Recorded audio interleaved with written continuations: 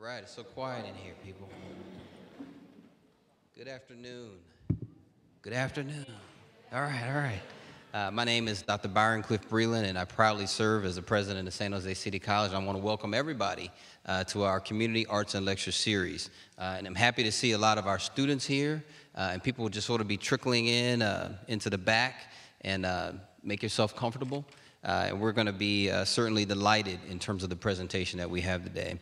Um, and I also want to say, um, you know, really uh, in welcoming to our Arts and Lecture Series, we're excited uh, to have with us today uh, an author, an educator, a lecturer, uh, and really just an all-around good humanitarian that I've had the pleasure of following. And actually, the last time I've heard Mr. Tim Wise speak, uh, I was in graduate school uh, back in the early 2000s, uh, and I'm proud to know that he's still doing the work that he does uh, in appearing uh, and being a commentator uh, and really a great lecture.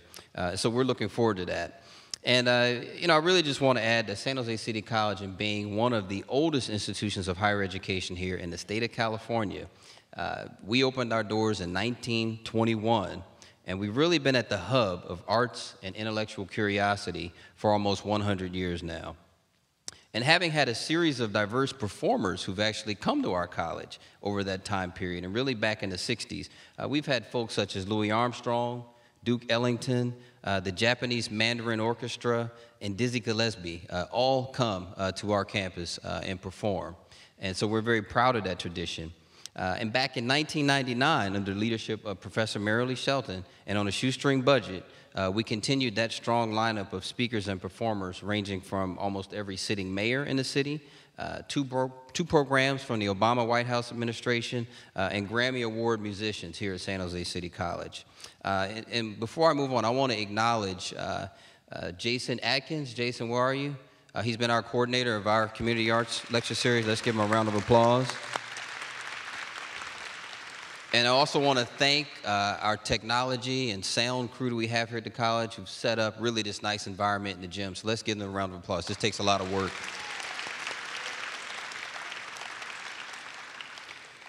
So I want to mention at the conclusion of today's lecture, uh, there'll be an opportunity for folks to ask Mr. Tim Wise uh, some questions uh, about the presentation or, or anything. I know he can field any question, and he was going to spur some of that intellectual curiosity within you today. So let's not be shy. There are microphones that are already set up. We're asking you just to go to the microphone and line up at the end of the presentation, and there'll be a Q&A session for about 15 or 20 minutes.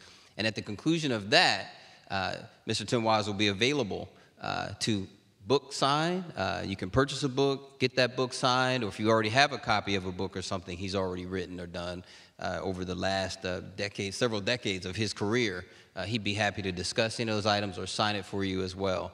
Uh, so let's, let's be ready to do that at the end of the presentation. Uh, and now to provide the formal introduction of today's speaker, I want to introduce uh, instructor of ethnic studies here at, at, San Jose City College, who also serves as our president of our College Academic Senate. Please join me in welcoming Professor Jesus Covarrubias.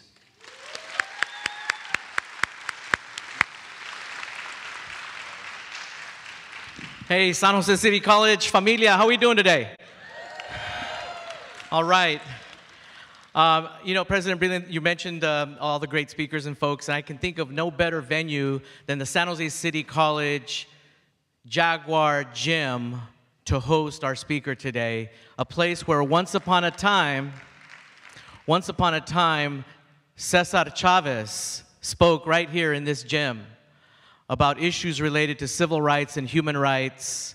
And uh, here we are to, take, to, uh, to uh, hear from um, you know, Tim Wise, who you're going you're gonna be really, really pleased to hear from. And um, as, a, as a faculty member and, and a representative of our academic senate, we know our faculty here at City really encourage and, uh, our students to think critically and to engage in critical questions within, within ethnic studies. Our, our whole department engages students to think critically and ask what we call courageous questions and to have what we call courageous conversations about racism, about sexism, about homophobia. And those are questions that are very challenging for many of us in this country to engage in. Um, why do the majority of black and brown people seem to be getting a raw deal often in America? Why is that? Why is it so difficult for many people to talk about racism and racial inequality when we know racial inequality exists?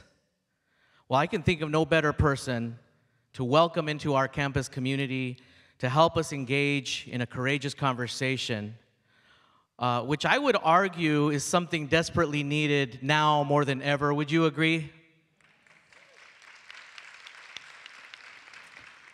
So he has a very long bio. I was given license to edit and condense.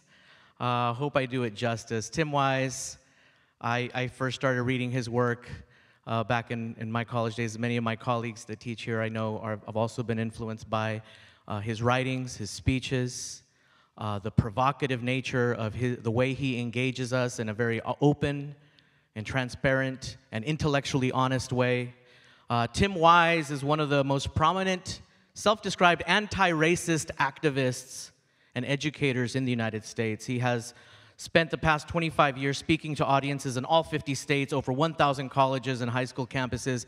He just gave me a rundown. He's zipping around the country uh, these days. I don't know how he does it, but uh, he has lectured internationally in Canada and Bermuda. Uh, he's the author of seven books, um, including the critically acclaimed White Like Me Reflections on Race from a Privileged Son. Um, he has been an outspoken advocate for racial equality and affirmative action. Um, he was named one of the 25 visionaries who are changing our world by the Utne Reader. Uh, he has contributed chapters to over 25 additional books and writings are taught in colleges and universities across this country.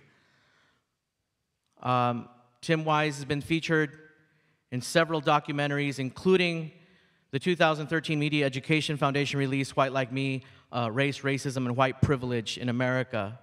The film he co-wrote and co-produced has been called, quote, a phenomenal educational tool in the struggle against racism. Um, Tim Wise has, uh, uh, appears regularly on national television, CNN, MSNBC.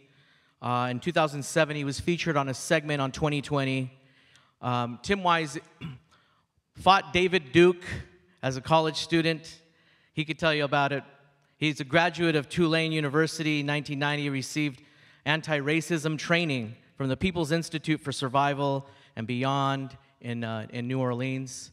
Um, ladies and gentlemen, please help me give a, a warm San Jose City College Jaguar welcome to Tim Wise.